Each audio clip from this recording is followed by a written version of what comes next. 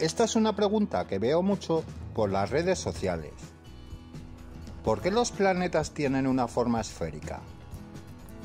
Los planetas que forman nuestro sistema solar tienen diferentes tamaños, diferentes distancias respecto al Sol y diferente forma. Pero ninguno es cúbico, ni piramidal, ni discoidal. Hola, amigos y amigas. Bienvenidos al canal Astronomía y Cosmología. En la descripción del vídeo os dejo los links del resto de mis redes sociales, a las cuales os invito a uniros y seguirme. Y por supuesto, os invito a que se suscriban a este canal. Comenzamos. Según la hipótesis nebular, el sistema solar en sus orígenes, hace unos 4.670 millones de años, era una nube de polvo y gas en el remolino, lo que se conoce como nebulosa solar. En algún momento tuvo lugar un suceso que provocó el colapso de la nube, bien a consecuencia del paso de una estrella u ondas de choque de una supernova. La consecuencia fue un colapso gravitacional en el centro de la nube, de forma que las bolsas de polvo y gas comenzaron a acumularse en las regiones más densas. En otras palabras, poco a poco se fue formando una estrella central y un disco circunestelar. Las regiones más densas atrajeron más materia y fueron ganando masa progresivamente, y como consecuencia, el campo gravitacional de los fragmentos fue aumentando y unificando todo el material. La mayor parte de aquel material terminó en una bola en el centro, el Sol. El resto de la materia se aplanó y formó un disco, un disco protoplanetario, que es como se conoce a aquellos planetas incipientes.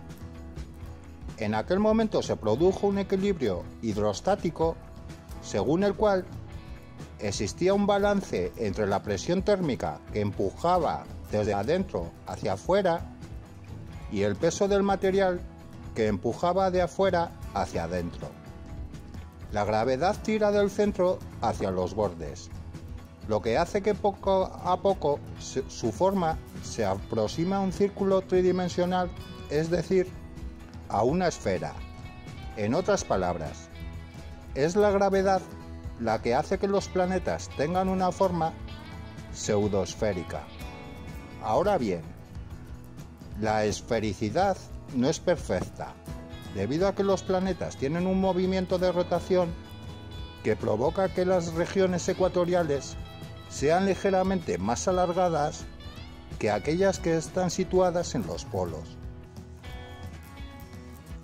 Como siempre, quiero darte las gracias de corazón por tu visita e invitarte a que me dejes tu like en este vídeo y te suscribas al canal. Así colaboras a su crecimiento. Y te recuerdo que en la descripción del vídeo te dejo los links del resto de mis redes sociales, a las cuales también te invito a unirte y seguirme. Y si tienes cualquier duda, ponla en un comentario y yo te la responderé. Thank you. Suscríbete. Fue una destacada astrónoma estadounidense que hizo importantes contribuciones a la clasificación y los movimientos estelares.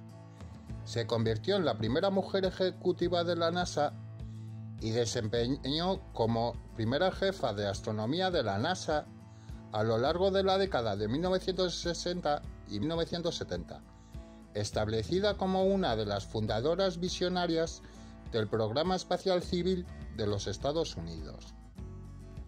Gracias de corazón por tu visita y no te olvides de dejarme tu like en este vídeo y suscribirte. Sandra Faber nació en 1944. Contribuyó a la instalación del Observatorio Keck en Hawái y formó parte del equipo del diseño del telescopio espacial Hubble. Lleva su nombre, junto con el del astrónomo Robert Earl La relación Faber-Jackson para el cálculo de la distancia de una galaxia elíptica. formó parte del grupo de científicos llamado los Siete Samuráis, que identificó la concentración de galaxias llamada Gran Atractor, que parece contradecir el modelo expansionista del universo. Antonia Mauri nació en 1866 y murió en 1952 en Estados Unidos. Fue una astrónoma importante de finales del siglo XIX y fue una de las primeras mujeres en publicar un trabajo sobre estrellas con su propio nombre. Sus estudios sirvieron para crear el diagrama HR, el diagrama más importante de la astrofísica estelar. Gracias por tu visita. Fue una astrónoma realizó sus estudios secundarios en el Ladies Collegiate School de Belfast y allí, en 1886, ganó el premio a la excelencia académica, lo que le permitió ir a estudiar matemáticas al Girton College de la Universidad de Cambridge. Aunque fue la alumna más destacada de su promoción, al finalizar sus estudios en 1889 y debido a las reglas discriminatorias de esos tiempos, no le concedieron su grado académico. Russell comenzó a enseñar matemáticas en el Ladies Hits School de la isla de Jersey, pero no encontró satisfactorias